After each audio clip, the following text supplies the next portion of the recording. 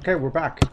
So we have uh, another parallelogram. You know, there's no tick marks. I'm just going to flat out say this is a parallelogram.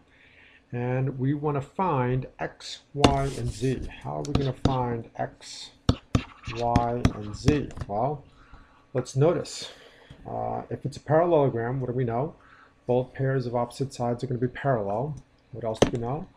Both pairs of opposite sides are going to be congruent. Well, I know those two sides in there are going to be congruent, and I know these two sides are going to be congruent.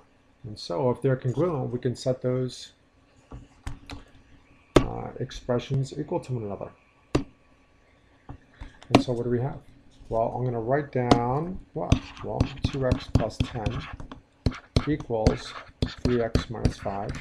And so if you're clever about finding x in here, it looks like x turns out to be 15. Right. What else do we know? Well, y plus 8 is going to be equal to 2y plus 2. And if we solve for y, y turns out to be 6.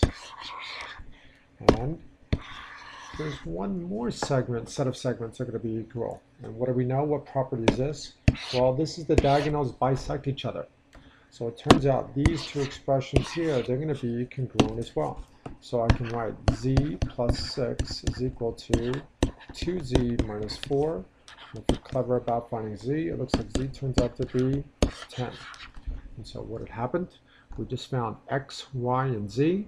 And from our other problems we've discovered, we can actually back substitute here if we want to define the lengths of any of these segments.